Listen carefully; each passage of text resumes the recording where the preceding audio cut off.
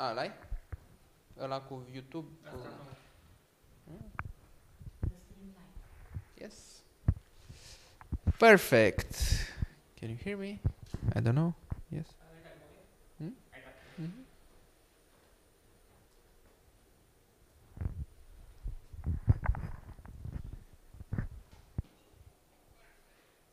Ah, ok. Cred că mă aud. Okay. Perfect. So uh, welcome to to our presentation today, uh, our EELISA presentation on um, basically on how to do your a startup, a tech startup, maybe coming from research or being a student, like we have two in the room that uh, want to do a startup. Um, so we are going to some uh, of the details so on how to do it, uh, what are some main points, and uh, from there on uh, we are going to, I don't know at the end to take some questions we can take two questions from the audience or from YouTube Uh, yes uh, okay, so uh, my name is Răzvan Crăciunescu. I'm an associate professor here at University Polytechnic of Bucharest. Uh, in my past experience, I developed a startup on IoT uh, that uh, I uh, sold at some point in time. Then I worked for several startups in Romania, mainly on digital, because hardware is always harder to do than, than digital. Uh, so uh, I work for UiPath, that is our first, that is the first Romanian startup that went IPO uh, at the New York Stock Exchange. Uh, there I worked in the in their academy division, uh, uh, delivering courses for uh, their products. Um, so I was hired when there were less than 100 people. Then when I uh, go out from the company, there were around 3,000 people. So that in two in two years. attending today an event named Talks, Mm. which uh, is developed uh, within EELISA, in a core project. Yes. Something about EELISA. EELISA is a uh, large uh, uh, alliance of European universities and the University, National University of Science and Technology Polytechnic of Bucharest is one of the partner. Also, and Budapest University uh, of Technology and Economics, and another nine universities. And uh, we are today to the second such event in, at, in premises of uh, our universities, but uh, in the 12 talks within the talks series organized, events organized on the level of EELISA. And now. Okay.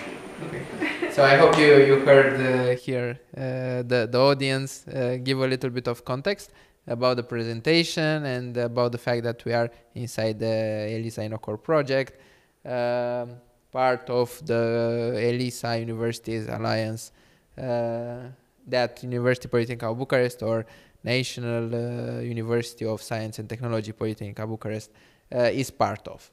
Uh, so back to uh, I don't know my uh, experience on this. So I worked uh, in the first Romanian unicorn. Then I worked for another startup, Procesio. I was their chief product growth officer, uh, in charge of how to go to new markets, how to grow the product more, how to do more engagement, and so on. I'm also an investor, so I invested, I think, in three startups so far. Uh, two of one of them on AI, one of them on uh, no code, low code, uh, and one of them uh, that uh, it's a platform for nannies for for children. Uh, so this is, a little bit of of background. Here at the university, I'm in charge of 5G, wireless communications, and everything related to, to, to this part of engineering as, as I am a telecommunication engineer uh, by heart. This is where uh, this is the field that I did my PhD on. Uh, okay, so uh, if we have uh, an idea to start a company, what should we look at? So we have this commercialization triangle that starts with application, but we have layers that should uh, be the basis of, of the application. So we have the application, then we need to, to understand the market, the competition, and of course we need to see if we, if we have the human resources, uh, what are the development and time and cost, and what are some regulations, what are some regulation and uh, intellectual property uh, rights that we have to uh, take into consideration. So I don't know if you go for energy, you know that in energy there are a lot of regulation. If you go from telecom, again there are a lot of regulation. If you go also for uh, doing some application, you also have to uh, look at GDPR and uh, other security issues that may arise. So usually you also have to look at regulation because government someday could change the regulation and then you go out of business uh, in some of the businesses. So if you if you look at the application, uh, you want to to understand the need of the ones that uh, or the one that you are serving and how uh, your technology or what is the application of your technology in that field. Um, so you you need so you need to look at the market to understand the need and to understand if there are other solution or application on that uh, particular need. Uh, so it's either you have a clear need or a poor solution today, or you have a clear need or no solutions today, or a possible need but end user are unclear and uncertain. This third option is the most uh, uh, let's say unf unfavorable one because um, if the end user doesn't know what they want uh, or the need is not clear for them then they won't buy your product so this is because let's say you have this problem when it rains you get wet so you want to find a solution for this so one solution how do you find the solution so you observe that what people are doing when they are getting wet. So what they are doing? They are putting their hands like this, or they are putting a piece of paper, or they are putting some plastic, and so on. So you observe that the, the need is in this area.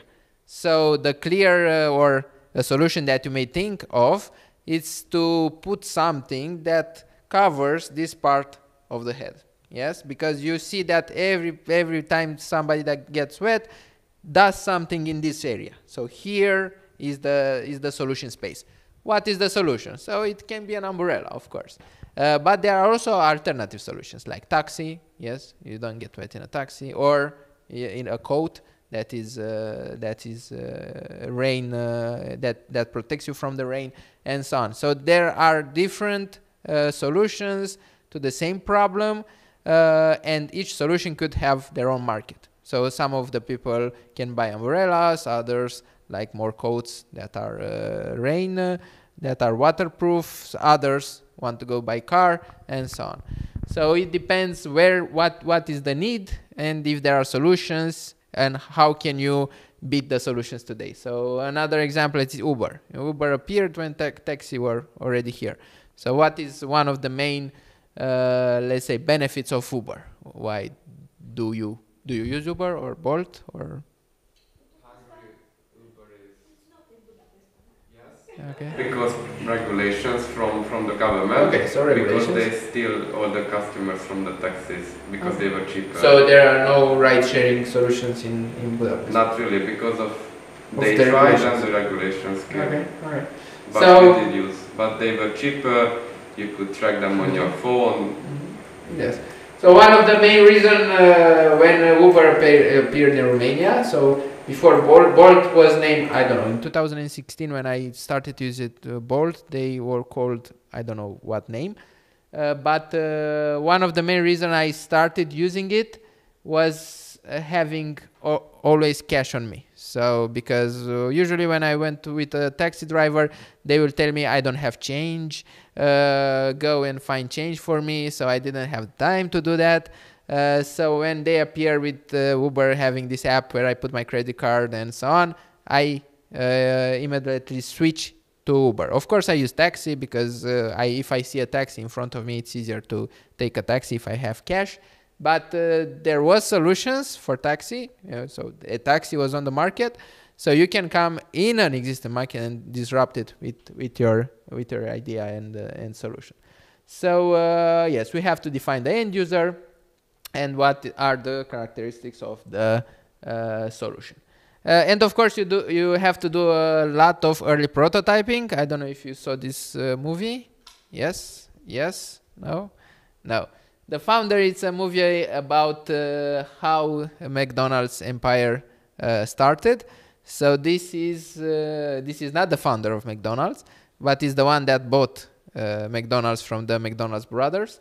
and what uh, so the movie is very, it's a very good movie if you want to understand uh, the US market and how capitalism works. So it's like pure capitalism. How how can you steal a business? How can you uh, convince somebody to, to sell you a business?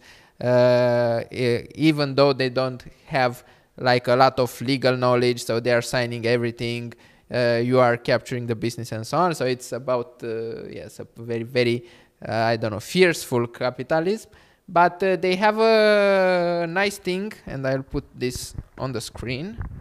Just a moment. Uh, they. Uh, oh,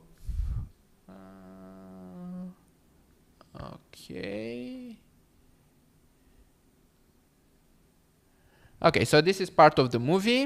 I hope it's working. Wasn't just different, it had to be better. It needed to be ours. And that's what brings us to the biggest cut, which was the wait. Orders ready in 30 seconds, not 30 minutes. Yeah, that, we looked at each other one night. You're thinking what I'm thinking? We're going to have to tear down, rebuild, reconfigure, rethink the whole dang thing. We're talking about shutting down a thriving business for months. People are going to think we're crazy. We were crazy. You were going to love how we did it, think you got a time tennis court? Okay. He brings me out to this tennis court, and he's drawn this line, the exact dimensions of our kitchen. Sink on the right, scooter on the left. Bagging and hood. Hood. Okay. Garnish, garnish. This, this is uh, burger finish. Got it. And then this is burger slide. We can just move those. Okay. Let's mix your soft drinks. Okay. We bring out our whole staff, and we have them go through the motions, making pretend burgers and fries. All right, Steve, anticipate that. You gotta keep the tray level. Okay. Dick is running around with the stick, marking where all the equipment should be. Tuck in. Tony, are you gonna skip the pickles when we're really doing it? They do it over and over, hashing it out, choreographing it like some crazy burger going on over there. Yes. No. No. Everybody stop! Stop! Garnish one. Garnish too. You've got pickles, you've got onions. It's a goddamn hamburger. Come on, clear up. Let's, let's clear off. Time for the pink chalk. And then rip, rip your orange. See, see all this open space here now? We've rearranged the fry situation, so now the stage left, the deep fryer stage right. Again. That's right. Come on, guys. We're pretty tied up. Yeah, watch it, lazy Susan. Just the timing, it's lazy Susan. Those are finished burgers. You can hold it. I still think there's a third version. What do you want to move? I Want to move everything. Back to stage left, please. This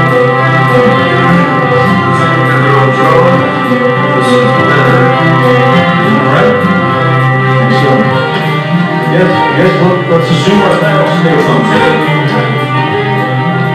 Finally, after about six hours of this, we get it just right. It's a symphony of efficiency, not a waste of motion.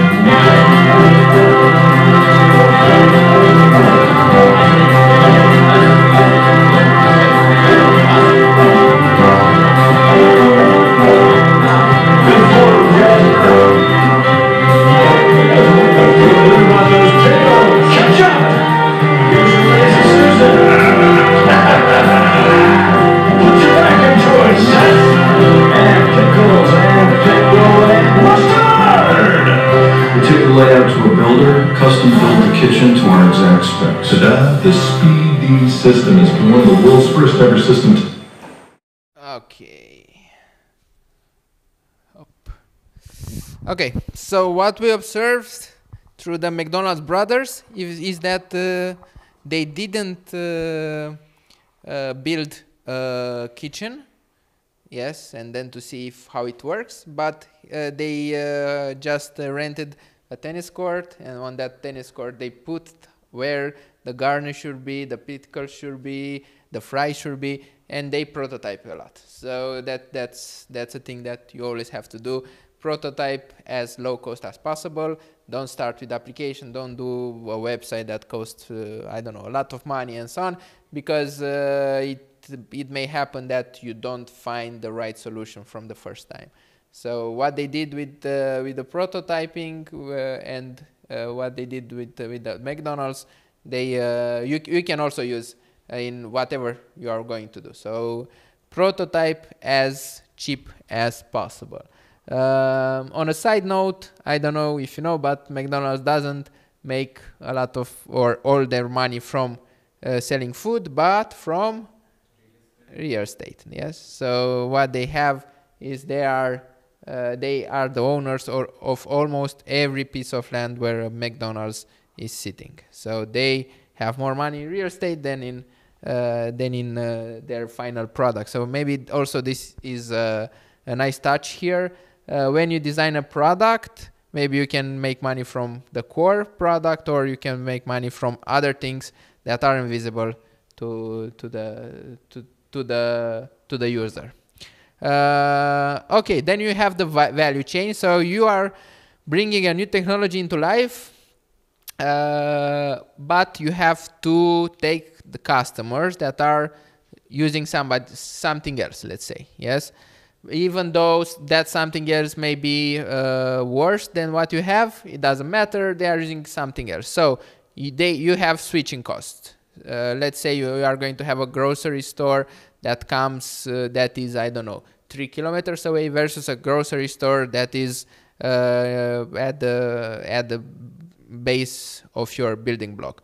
Where are you going? Why should you go three kilometers versus five minutes and so on? So there are these switching costs that aren't so obvious because it's not always about money. It's about how do you change uh, a behavior of somebody. So you have this behavior of buying everything from your uh, grocery store that is at the base of your building block but uh, how the big supermarket that is in the in the city center will uh, or in the in the at the uh, margin of the town will uh, change this your your behavior. So always when you when you come with a new technology for users they have to change their behavior and you have to understand if they are interested uh, and of course what a lot of investor will look like it's what what is the market size uh, we are looking into. So we have this because uh, if you plan to go for investment uh, let's say i don't know you plan to go for investment and the investment uh, the investor usually wants to do 3, 3x 4x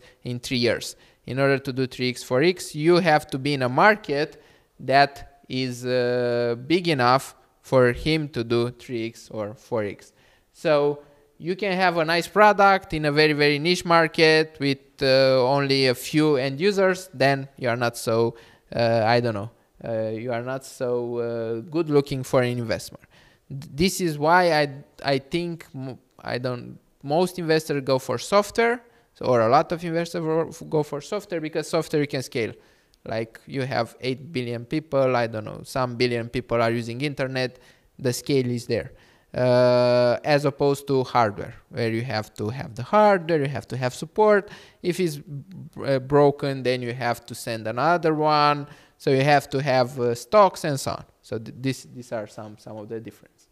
Um, and in order to get the market uh, i think yes. So in order to get the market uh, you have different tools. One of the tools is this, jobs to be done, understanding what job is your product doing for the customer. And for this one, I have another video. I hope this will be better in terms of visual. Hop. Okay.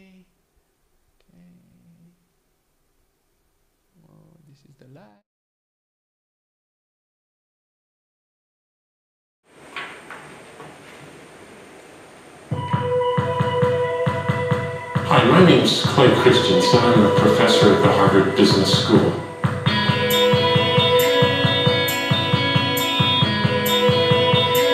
I brought with me a set of puzzles, all related to innovation.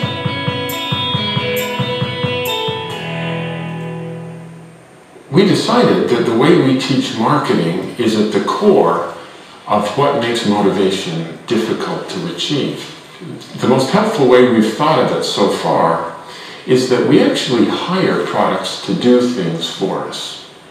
And understanding what job we have to do in our lives for which we would hire a product is really the key to cracking this problem of motivating customers to buy what we're offering. So I wanted just to tell you a story about a project we did for one of the big fast food restaurants. They were trying to boost up the sales of their milkshakes. They had just studied this problem up the gazoo. They brought in customers who fit the profile of the quintessential milkshake consumer. And they'd give them samples and ask, could you tell us how we can improve our milkshakes so you'd buy more of them? Do you want it chocolatey or cheaper, chunky or chewier? They get very clear feedback. They would then improve the milkshake on those dimensions and it had no impact on sales or profits whatsoever. So one of our colleagues went in with a different question on his mind, and that was, I wonder what job arises in people's lives that cause them to come to this restaurant to hire a milkshake. So we stood in a restaurant for 18 hours one day and just took very careful data. What time did they buy these milkshakes? What were they wearing? Were they alone? Did they buy other food with it? Did they eat it in the restaurant or drive off with it? It turned out that nearly half of the milkshakes were sold before 8 o'clock in the morning. The people who bought them were always alone. It was the only thing they bought, and they all got in the car and drove off with it. So to figure out what job they were trying to hire it to do, we came back the next day and stood outside the restaurant so we could confront these folks as they left milkshake in hand. And in language that they could understand, we essentially asked, excuse me please, but I gotta sort this puzzle out. What job were you trying to do for yourself that caused you to come here and hire that milkshake? And they'd struggle to answer, so we'd then help them by asking other questions like, well, think about the last time you were in the same situation, needing to get the same job done, but you didn't come here to hire a milkshake. What did you hire? And then as we put all of their answers together, it became clear that they all had the same job to do in the morning, and that is they have a long and boring drive to work. And they just needed something to do while they drove to keep the commute interesting. One hand had to be on the wheel, but somebody had given them another hand and there wasn't anything in it. And they just needed something to do while they drove. They weren't hungry yet, but they knew they'd be hungry by 10 o'clock, so they also wanted something that would just down there and stay for that morning. Good question. What do I hire when I do this job? You know, I've never framed the question that way before, but last Friday I hired a banana to do the job. Take my word for it, never hire bananas. They're gone in three minutes, you're hungry by 7.30. If you promise not to tell my wife, I'd probably hire donuts twice a week, but they don't do it well either. They're gone fast, they crumb all over my clothes, they get my fingers gooey. Sometimes I hire bagels, but as you know, they're so dry and tasteless. Then I have to steer the car with my knees while I'm putting jam on them, and then if the phone rings, we got a crisis. I remember I hired a Snickers bar once, but ah, I felt so guilty I've never hired Snickers again. Uh, let me tell you, when I come here and hire this milkshake, it is so viscous that it easily takes me 20 minutes to suck it up that thin little straw. Who cares what the ingredients are? I don't. All I know is I'm full all morning and it fits right here in my cup holder. Well, it turns out that the milkshake does the job better than any of the comp competitors, which in the customer's minds are not Burger King milkshakes, but it's bananas, donuts, bagels, Snickers bars, coffee, and so on. But I hope you can see how, if you understand the job, how to improve the product becomes just obvious. So that's a very nice example of uh, what do we think a customer thinks about a certain uh, a certain product and why they think about it. So as you saw here, uh, the milkshake, uh, the McDonald's milkshake, because it's also about McDonald's. Uh, the competitors weren't milkshake from Burger King and so on, but the competitors were bananas, uh, Snicker bars, and so on. Because uh, this is what they, so this is why it's very important to observe the uh, behavior of the, the user that is going to use your application. observing their user, their behavior will uh, make it easier for you to understand what what are your competitors, what they are doing better than you, and so on. Uh, so using jobs to be done. Of course, there are a lot of uh, thresholds to overcome when you start a new product. Uh, either it's a I don't know research product, a product that you got from research, or it's a I don't know classical startup. You have uh, at the first the enthusiasts and the visionaries. They they are people that uh, looked for for uh, so they, the need is clear. So you have to identify the need. Uh, then for this need, there are some people in this world that already uh, build some hacks for the need to be covered. So they, they build some hacks, they build their own solutions, but they are uh, too complicated uh, and so on. Uh, so they will uh, go and buy your product instantly. Uh, even though it cost a lot, it doesn't matter for them. They were looking for this solution for ages, and you came with a solution, they will buy it. So at the first uh, at the first stage of the startup, you may find some traction, and this traction you will feel that okay, so uh, I'm there, uh, everything is okay, I'll I will become a unicorn, I will make a lot of money. But then there is that chasm so it's this is from a very good book. It's called Crossing the Chasm. Uh, if you want to read it, uh, that chasm is uh, how do you uh, go from visionary and enthusiasts? How do you go from to to the to the majority of people? So in order for you to scale, you need the majority. The majority uh, it's not so easy to uh, conquer because you need a sales process that is rep rep uh, replicable in every uh, market uh, in terms of geography. So let's say in Hungary or in Romania, you tested the product, the product goes well, and you have a sales process, but then you go to Germany and nothing is working. Go to France, you go to UK, you go to USA, so the big markets. So not nothing is happening. So that chasm could uh, kill your company. So you always have to look at the chasm uh, and to to make people to look in the same direction as you are looking. Uh, for all of them, yes, to even though uh, the visionaries are looking up, you have to make everybody look up, up, up including the angels. Uh, so that is uh, how do you get from a startup to unicorn. Then you have competition. Uh, what is going to be uh, ideal for you is that the solutions that are on the market are poor and they have uh, uh, low potential for improvement. Uh, and no solution is underway. Uh, so you are in the space where you are very, very, I don't know, you are in a blue ocean, how they call it. and of course, Maybe uh, a second uh, a second version is that you have we have a lot of uh, competition, but you are going to a niche. Uh, a niche you can go to a niche, either a low cost niche. So you are in a in an existing market.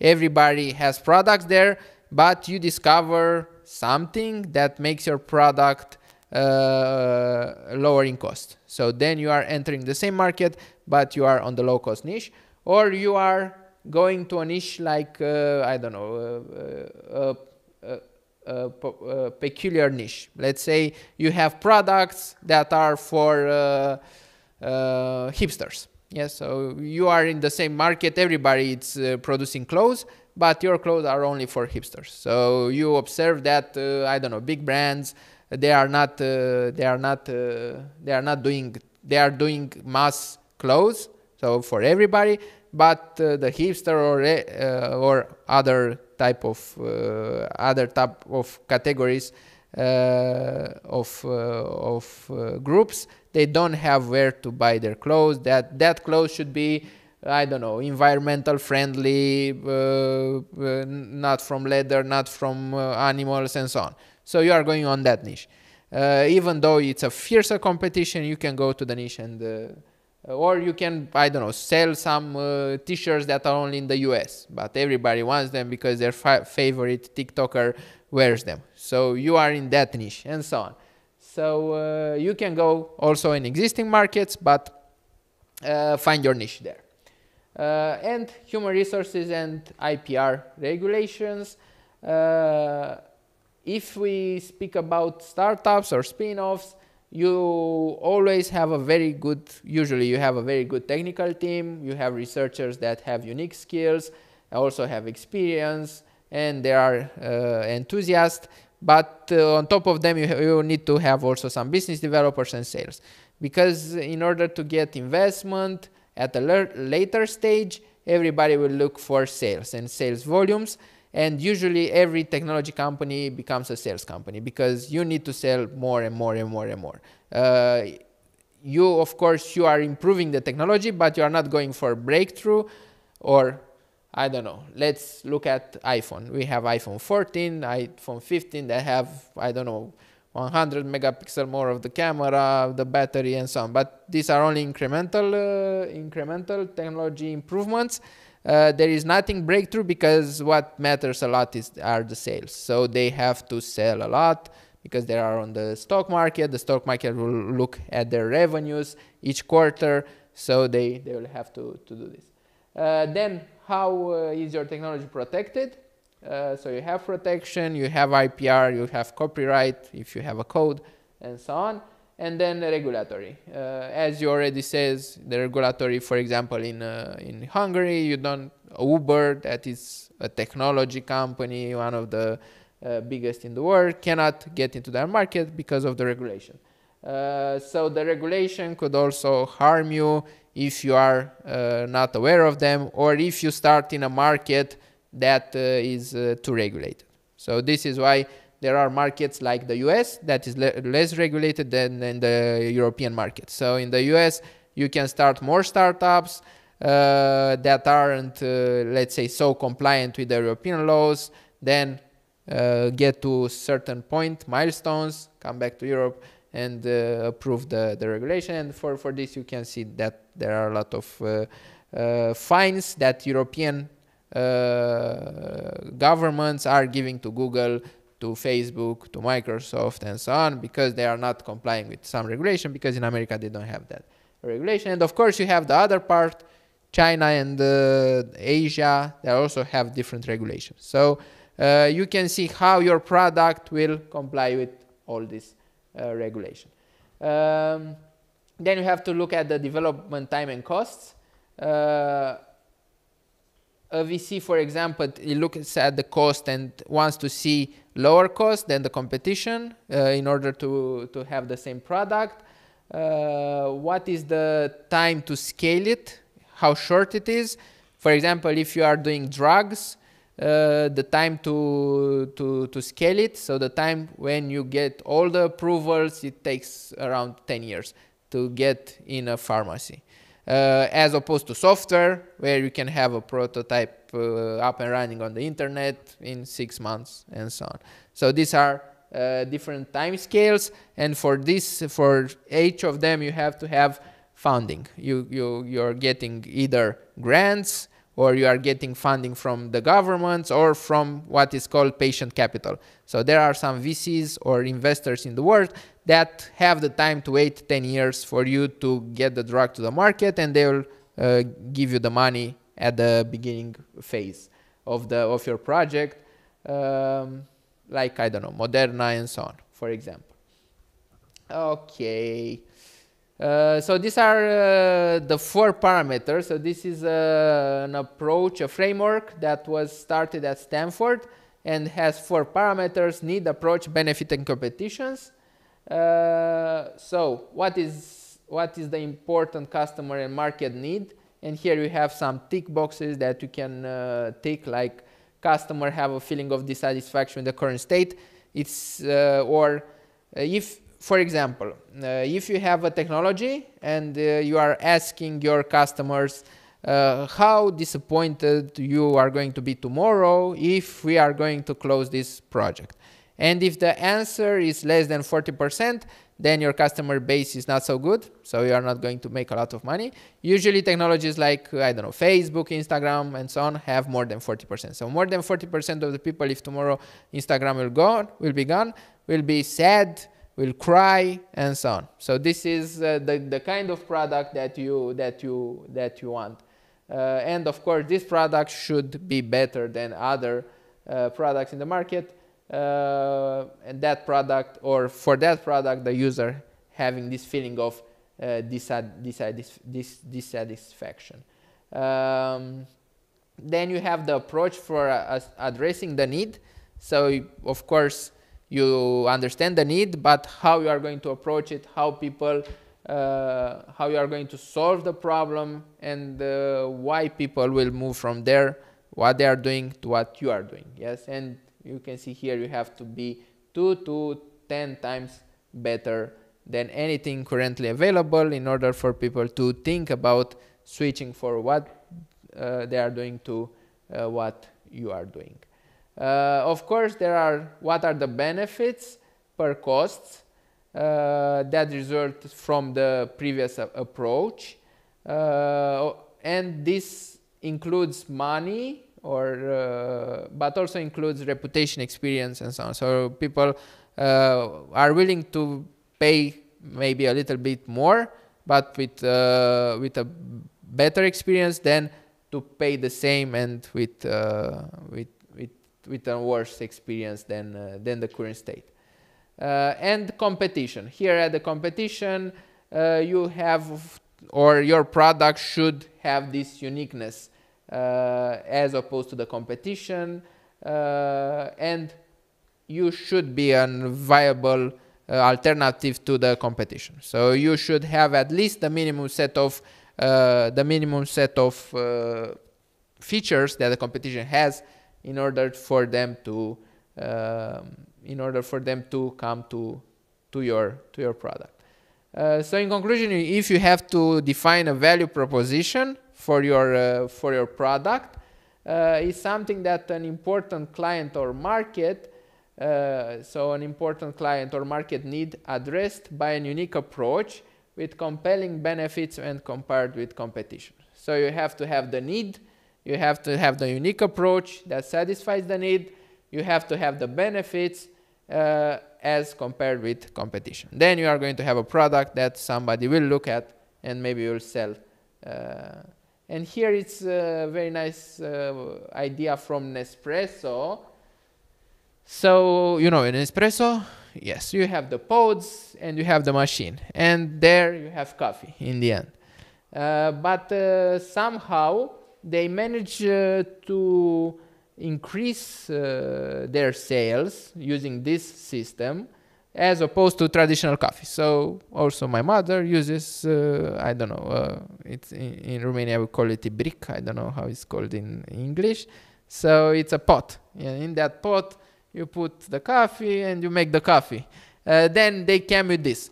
So the cost for this, as compared with making coffee in the pot, it's uh, around 600% more. So six times more if you have this versus making the coffee in the pot. But even though this happened, a lot of people were sticking with this. And uh, of course, in the end, the product is the same coffee. I'm not a coffee drinker. I understand that there are different types of coffee uh, smells or uh, uh, taste and so on. But in the end, we have coffee in the end. So this is the product. So why do you think people, uh, or what, where do you think were the, was the innovation here? Of course, we have some technical innovation, uh, but uh, in the end we have coffee. So this is the final product that the user gets. So I, what do you think make them special people to buy Nespresso pods and Nespresso machines and so on? It's easier to make. So if something is easier to make, would you pay six times more for it? As people do? Six times, yes. I use the pot. But you have. I have this one. Yes, but you have money. We use the pot, we are students. Yeah, we live in a dorm. Makes sense. So, uh, what was their innovation, or why uh, they managed to capture the market. Uh, it's what they did uh, in the beginning. Uh, they were uh, selling this, so the machine was discounted, blah blah blah blah blah.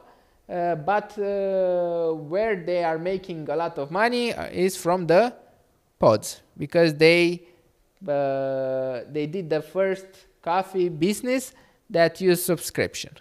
So as you have subscription to newspaper, how, how, as you have to subscription to Netflix, here you have subscription to coffee because you have the machine at home, but you always have to buy the pods. So from the pods, they are making money. So it's not, uh, so you can, uh, when you do innovation, there are uh, radical innovations. I don't know if you are doing a quantum computing, a computer and so on.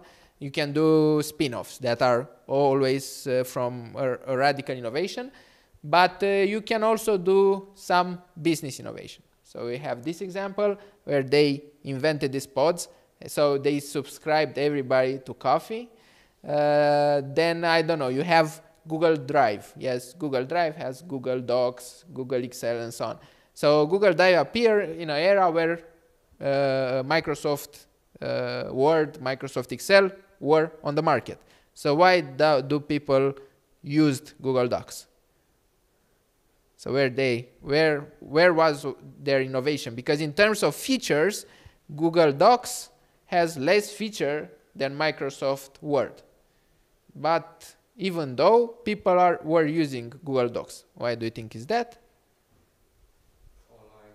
It's online, yes, yes. So they uh, the the innovation here is that everybody had to uh, uh, move uh, word files between them in emails and so on, and everything uh, was uh, not real time. And they came with this innovation, real time. So it's also a business innovation. We have Uber versus taxis and so on. So we have this kind of innovation uh, that you can see here. They focused on the pods as opposed to focusing on uh, uh, on coffee itself, to put it like this, yes? And they were doing recurrent revenues. And this is, I don't know, the holy grail of every startup. Everybody wants recurring revenues because what else, what, so what, why everybody uh, wants recurring revenues? Because recurring revenues means that uh, the customer that you have this month, most probably you are going to have next month. So if this month I got, I don't know, 100,000 from my customers, next month I'll have mostly the 100,000. So I have only to go up from there. So usually I don't go down. So usually I go up. So this is why I want recurring revenues. I have some customers that are my customers. They like it with me. So we are selling to them next month and next month and next month. So I have a stable income and revenue for the whole uh, year. Of course, this is a business model canvas. Uh, you can use also this in order to have a blueprint of, uh, of your startup. Uh, here you can see they were selling also the machines, but they were focusing on these pods uh, that created recurring revenue. They had some costs, of course, like you see for Nespresso, you, you see um, uh, you see George Clooney in a lot of ads. You see some Game of Thrones uh, stars in some other ads, so they have to pay a lot on that. Uh, but uh, also, but they have that lock-in. You can see that is uh, uh, it's highlighted there. Yes. So uh, when you have the machine, you are locked in to buy from them the pods. So it's like a prison, the prison of the prison of coffee. and another thing that is very important for somebody that has um, an idea and more than idea is to prototype.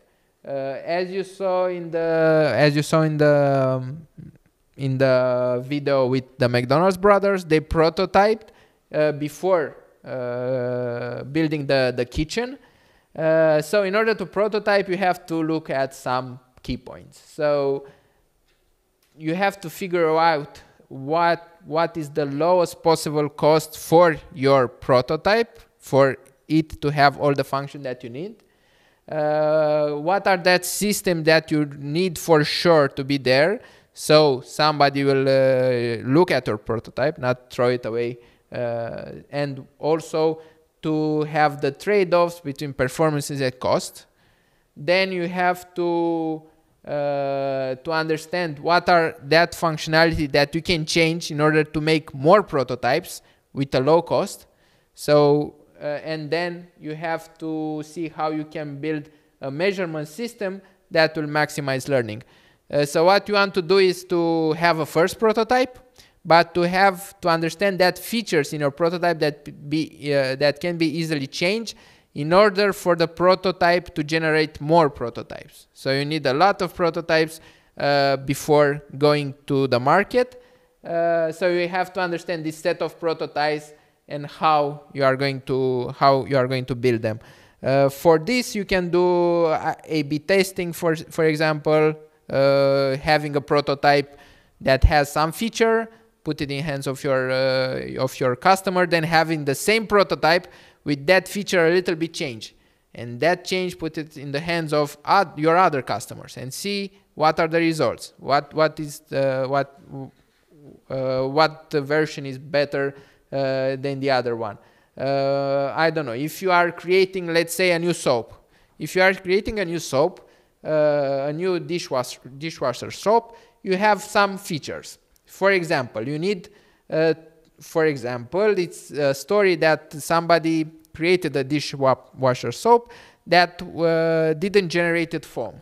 Uh, so people believe that it's not working, even though uh, from a chemical point of view it worked better than the ones that generated soap. So you also have to understand what is the public perception uh, in the area that you are creating your solution in order to uh, in order to put it on the market. And for this, you have to prototype. So you have a soap with less foam, put it in hands of a user. What what what uh, the user will say? Will say it's not working. Then create more foam. Yes, put some chemicals there, create foam, and so on. Uh, also, for uh, also there are some things that you cannot control. For example, you cannot control the quality of the water that somebody is using when uh, washing uh, dishes. So for this, you have to, when in your prototype, you have to make the prototype so that it it's, it works with every kind of water on the earth. It's a more uh, I don't know a water that it's more uh, has I don't know how it's called in in in in other languages. But yes, you have to have one that works with uh, every every type of uh, water. Uh, so there are some, we call it noise factors. So you cannot control them, but there are some things that you control, like the foam, yes, so the people to see it and to, to know that it's working, and so on. So uh, here it's an example of uh, prototype so the author of this book, that is a very, very good book, and uh, it's uh, in the references. I read it this year. Um, so he was in his uh, physics class, and he has uh, he had this uh, uh, he had this problem. So it was a written problem in a textbook. So at what angle should a lever should be so that the ball should go into a cup that is at this distance from the from the system. So uh, uh, the teacher would expect it from him just to calculate. Yes, we have this uh, parabolic uh, uh, shape. Uh, the the lever should be at this angle, so that given the the the distance, give, given the velocity, given the gravity, we'll get to the cup in in with with this angle. So what he did instead, and for this he got a low grade, uh, he prototyped. So he uh, prototyped, and what we observed it was that uh, in order for the ball to get into the cup, you need the rubber bands. You, you should put one rubber band, two rubber bands. So he prototyped with one rubber band, with two rubber bands, with three rubber bands, and depending on the rubber band, the angle is different. Uh, also, the type of the ball. Uh, it's a it's a ping pong ball. It's not a ping pong ball. Different sizes, different uh, masses, uh, and so on. So he prototyped with with with a lot of balls, and so on. The pull-up angle, what happens with what what is the res resistance when it goes back, and so on. So he created this system, he prototyped a lot, and he went to the teacher with a different answer. So in the textbook, I don't know, the angle it says is 30 degrees. But he discovered that given all these factors, the optimal angle should be 28 or something degrees. Uh, this is because he prototype a lot and because theory is there, but prototyping you get to the right solution that you can put in hands of your of your customers. And you have a lot of control factors, you have a lot of noise, uh, the context that you cannot uh, that you cannot uh, that you cannot um, control, but in order for you for everything to work you need to, to create your, your system. And for this he listed uh, some skills that innovators and entrepreneurs entrepreneurs should have. Uh, they should have an em empathic perspective. Uh, empathy comes from the fact that you you are not so you are not sympathetic in, in terms of you are not understanding the needs of or the problems or the uh, emotion of others, but you are empathic. You un you understand them that you are putting in uh, in the shoes of the one that has that emotions and so on. So in order to have an empathic uh, perspective, you have to detach from your own perspective and to be in the shoes of your customer and to understand what uh, what are the things internally and externally that makes him feel that way. Uh, then you have to understand un uncovering uh, uncovering demand. Uh, also, you should understand the market and not stick to your product. So this is something that usually engineers do. Uh, then uh, causal structures. So everything in our world in our world is based on cause and effect. So you have to understand what is the cause for this effect, what will make somebody buy my product, what is that cause that will make somebody come to the store and look at my detergent or versus Ariel detergent and so on. Uh, then you have to prototype a lot. Yes, you have to run test, uh, understand what are that features that you can change and what are that features that are uh, that are beyond you, uh, beyond your control. Uh, you have to uh, release hypotheses and test them and of course making trade-offs this is like life you, everything cannot be perfect so make some trade-offs and uh, put everything in in the hands of of the of the of the users. And here is how he described this in terms of uh, what characteristics helps what other characteristics. So this is my presentation before our colleagues here will leave. I don't know if you have questions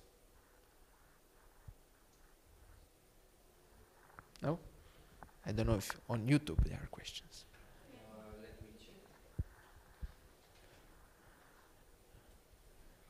no questions. How do you do a prototype for a software? How do you do it? So for software, I think it's the easiest way to prototype software. Uh, it depends on uh, you are thinking of a mobile application, web application, uh, what you are thinking, backend, front end a mobile application. So usually there are frameworks on the internet uh, where you can uh, build screens without having the backend.